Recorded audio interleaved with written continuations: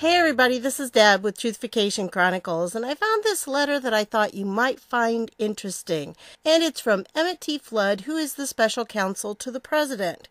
And it came out on April 19th. Now, if I remember correctly, I think the Mueller report came out officially on the 18th, if my mind hasn't gone all glitchy on me on that but I'm pretty sure it came out on the 18th. So the 19th was the day after it came out. And this was hand delivered to Barr by the president's special counsel. So let's see what he had to say. I think it's kind of interesting.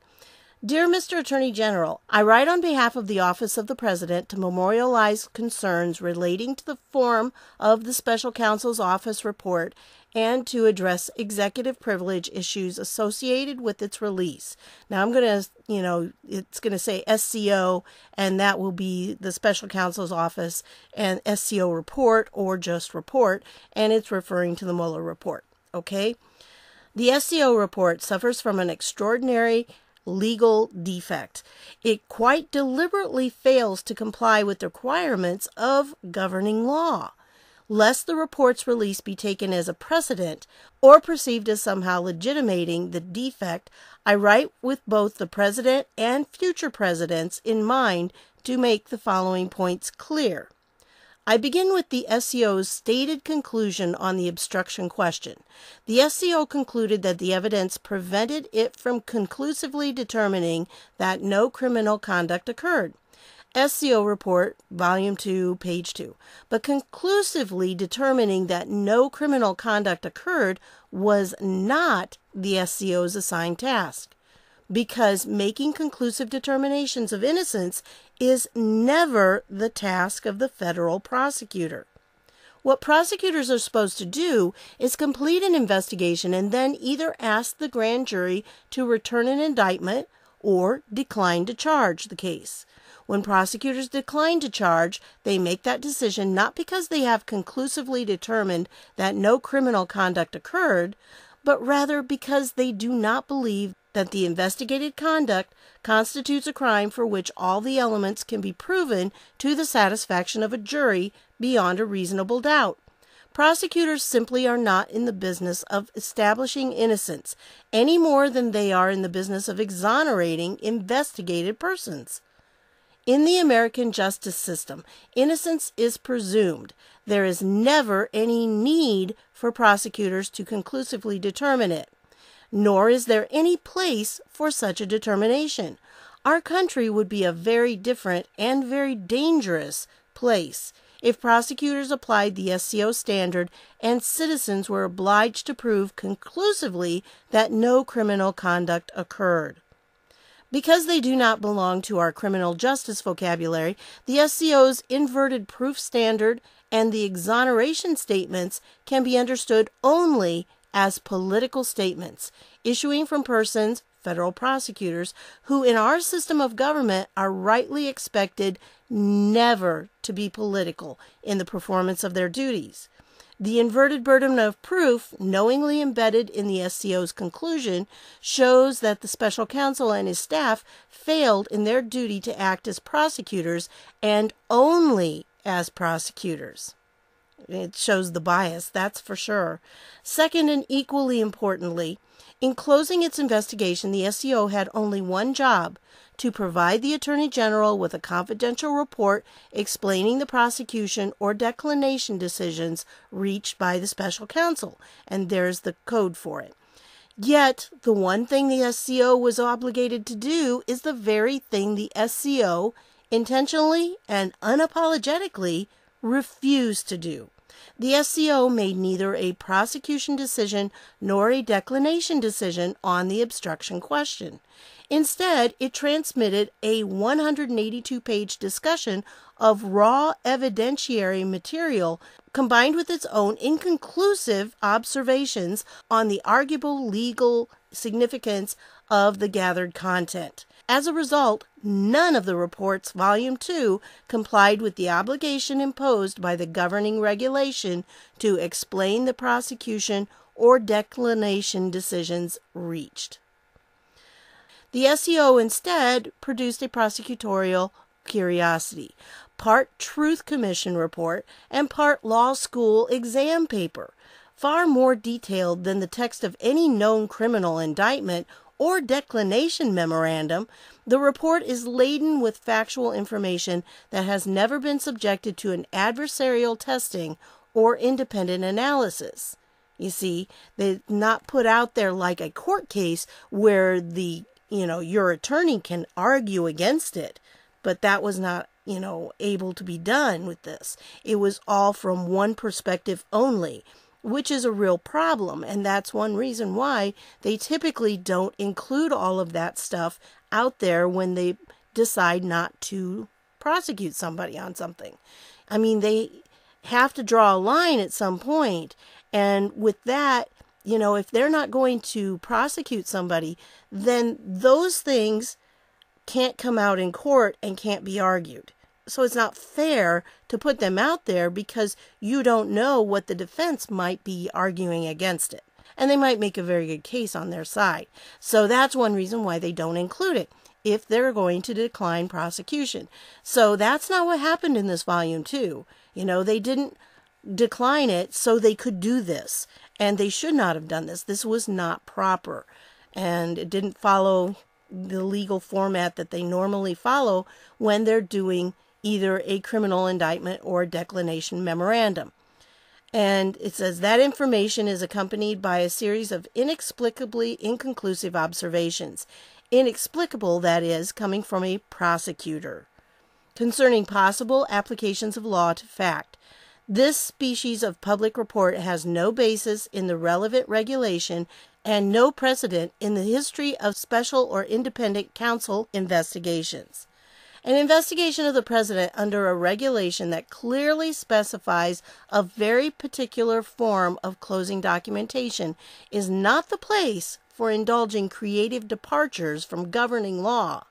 Under general prosecutorial principles and under the special counsel regulations specific language, prosecutors are to speak publicly through indictments or confidentially in declination memorandum.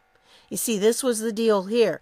If they were going to indict somebody, then that is public because the indictment is put out there publicly.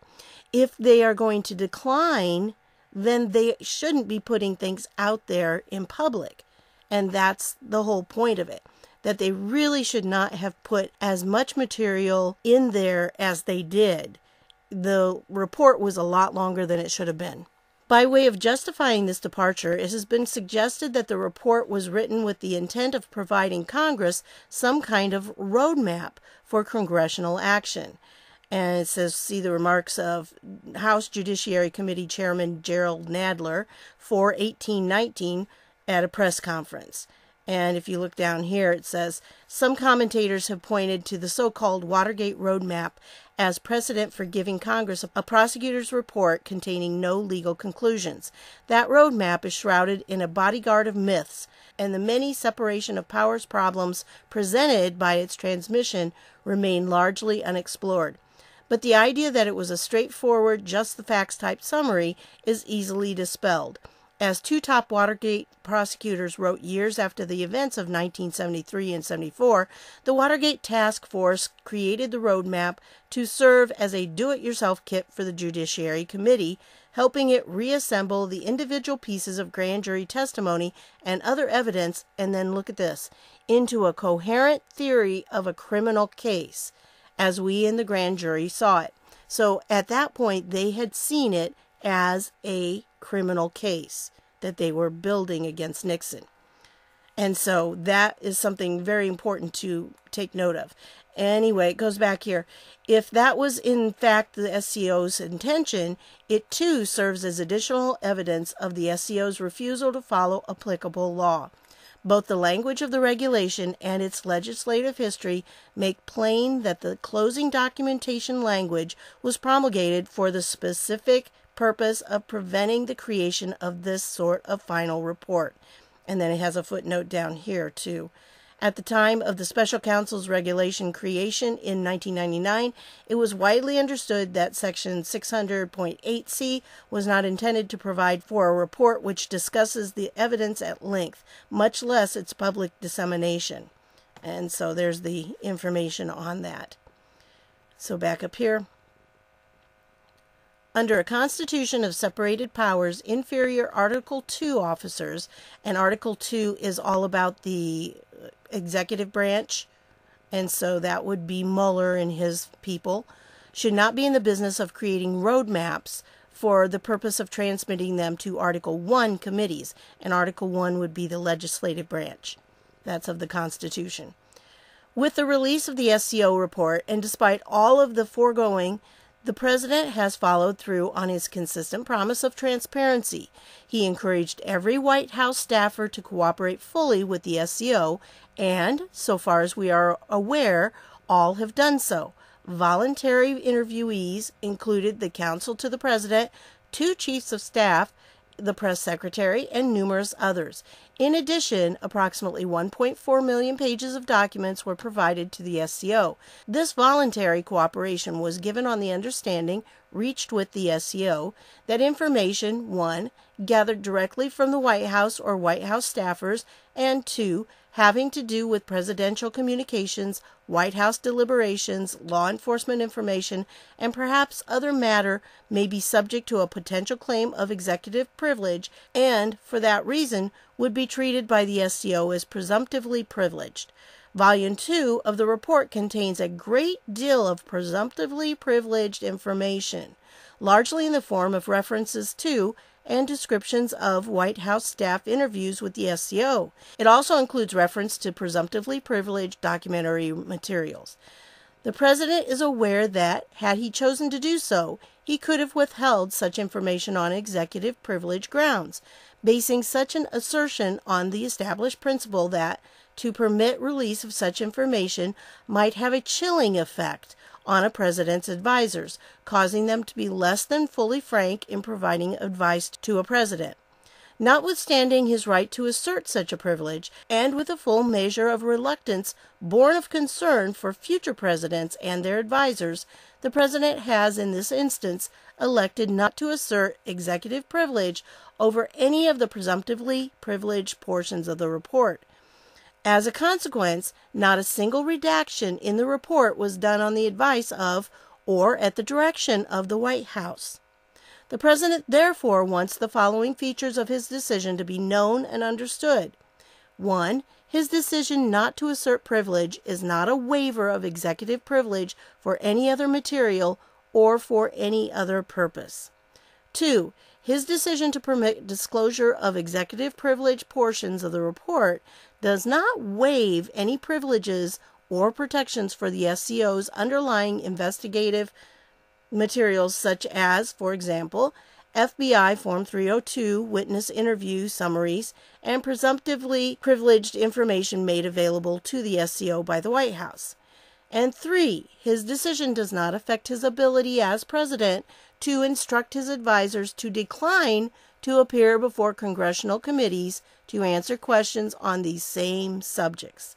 It is one thing for a president to encourage complete cooperation and transparency in a criminal investigation conducted largely within the executive branch. It is something else entirely to allow his advisers to appear before Congress, a coordinate branch of government, and answer questions related to their communications with the president and with each other. The former course reflected the president's recognition of the importance of promoting cooperation with a criminal investigation. The latter course creates profound separation of powers concerns and, if not defended aggressively, threatens to undermine the integrity of executive branch deliberations. The president is determined to protect from congressional scrutiny not only the advice rendered by his own advisors, but also by advisors to future presidents. And so he was reserving that right and you will notice probably from here on out, the gloves are off. We've transitioned into a new phase of all of this where the Mueller report is out. We found out no collusion, and the president is stepping back to center stage. And from now on, when they start trying to get all of these people and to catch them on things, they're going to start saying no. You saw it with Barr. He didn't go to the House Judiciary because it was a trap. Plain and simple. It was a trap set up for him, and he wasn't going to have any part of it. And so, you know, he didn't go. The only reason he probably went to the Senate is because Lindsey Graham was in charge, and so they did have, you know, the Republicans were able to curtail some of the antics. And, you know, when Mazie Hirono got out of line, Lindsey Graham reeled her in. He should have probably done it a little sooner, I would have thought. You know, there needs to be some kind of rule, I think, about calling people names and, and things like she did to him, to Barr.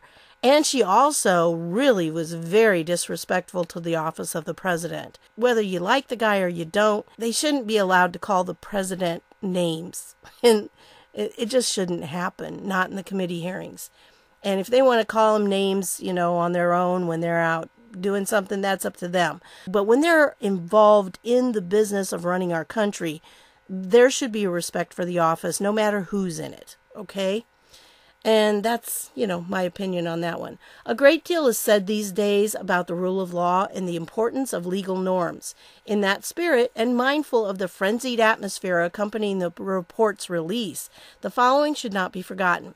Government officials with access to classified information derived from a counterintelligence investigation and from classified intelligence intercepts engaged in a campaign of illegal leaks against the president. I like how he's pointing this out here. Many of those leaks were felonies. And so I think this is kind of giving us a heads up that there will be some felony charges against these people who did the leaking because that was one of the things Sessions was doing. He was setting up traps to catch leakers. And we know that for sure because of the James Wolfe incident where he leaked the Carter Page FISA warrant, but he leaked a version that had some subtle changes in it.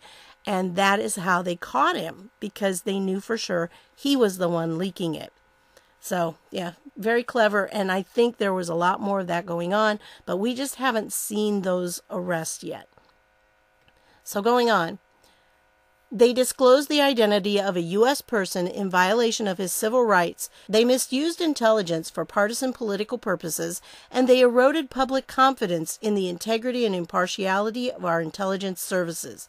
The criminal investigation began with a breach of confidentiality executed by a very senior administration official who was himself an intelligence service chief. This leak of confidential information, personally directed by the former director of the FBI, triggered the creation of the SCO itself precisely as he intended it to do. And if you haven't seen it, I have a video on this forgotten felony because the leak of the unmasking and then the leak of Mike Flynn's name, that was a felony. Someone needs to be held accountable for that. I'm hoping that they will find out who it is or they already know who it is and that that person will be held accountable because those kinds of leaks are felonies and they do need to be prosecuted. So, anyway, going on.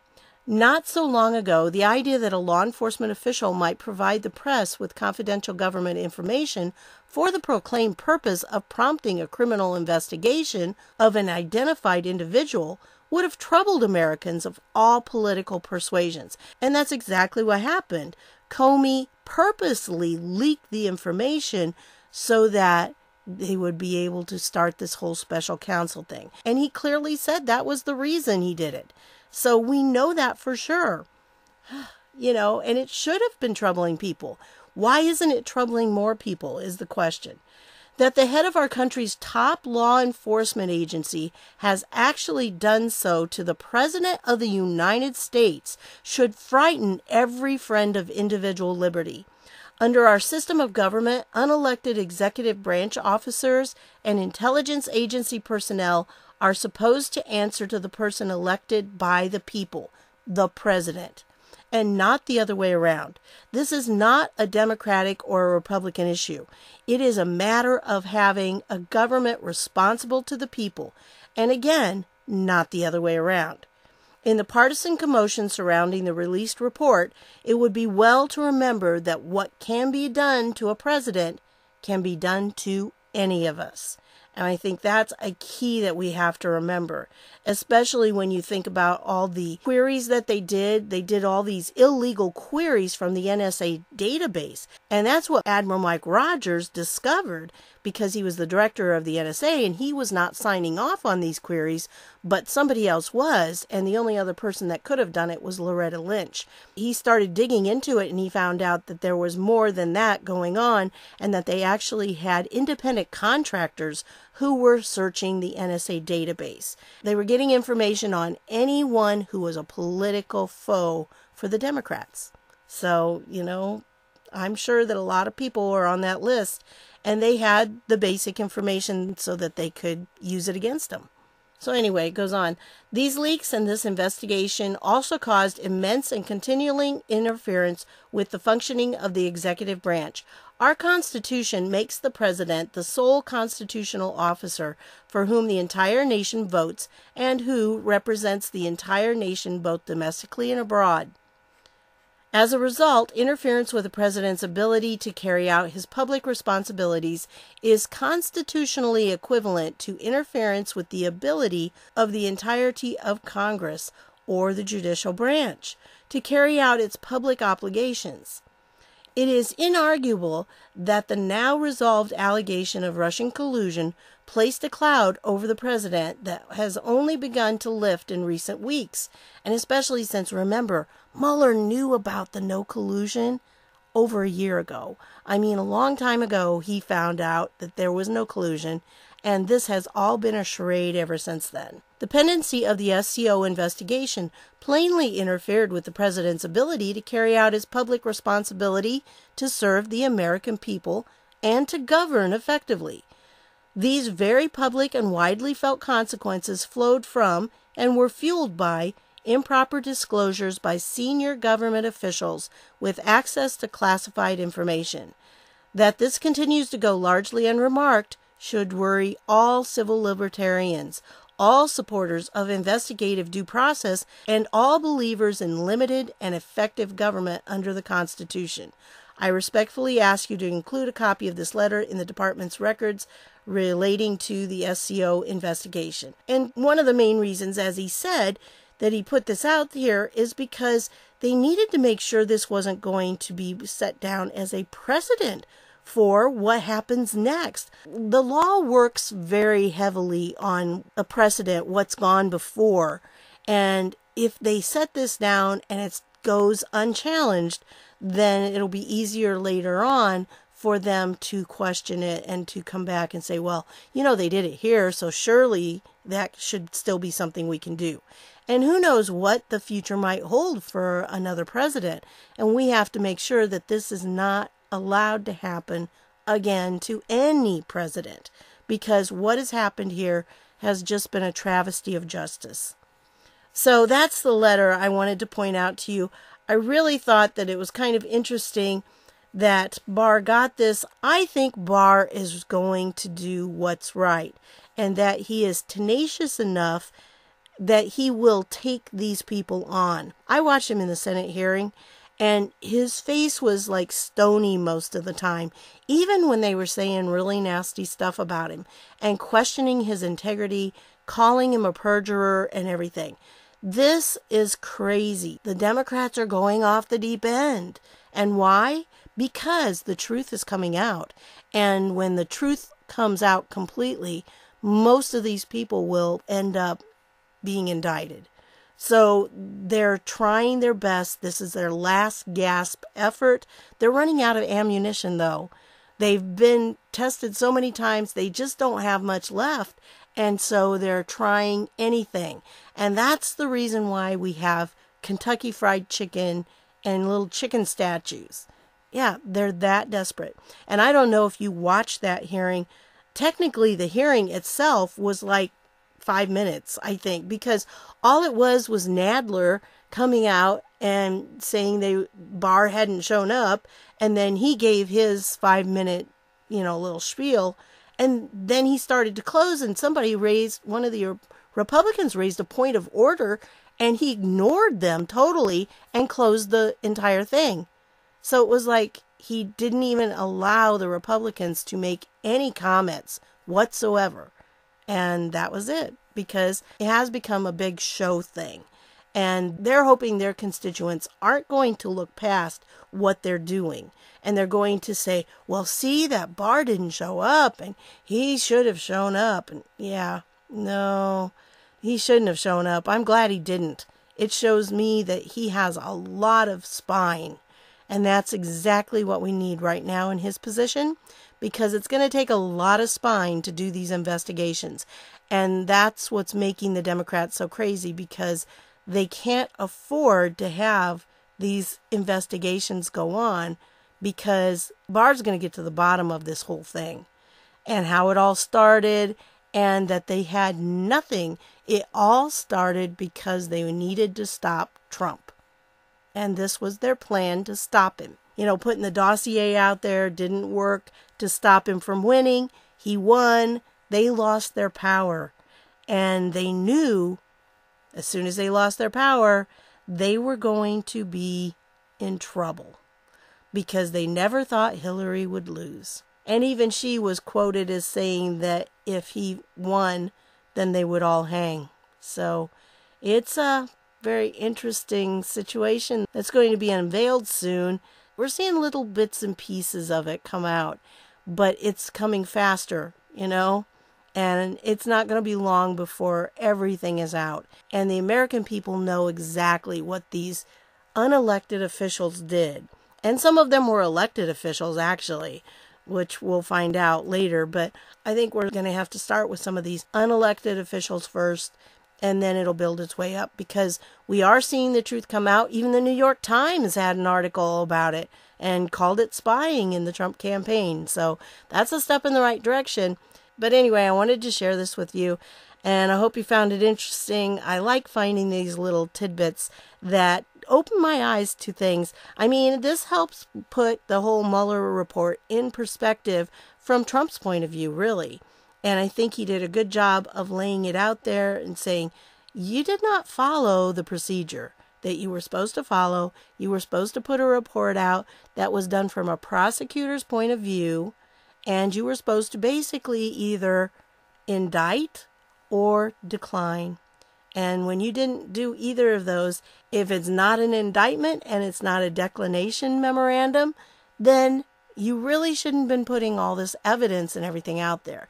And you had no business putting out volume two that said, well, we couldn't decide. You know, that's not your position. If there's not enough evidence and you don't think there's enough evidence, you have to say declined. That's all there is to it. I mean, that's a job of these federal prosecutors. If there's not enough evidence for probable cause, you cannot prosecute. And so you have to decline. And so that's it for today. I want to thank you for stopping by, and I'll see you all later.